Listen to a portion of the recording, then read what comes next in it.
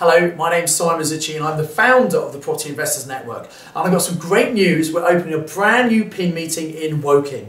Now, we're just finalising the date and the venue, but in the meantime, if you'd like to put your details in here, as soon as we know exactly when and where it's going to be, you'll be one of the first people we'll notify.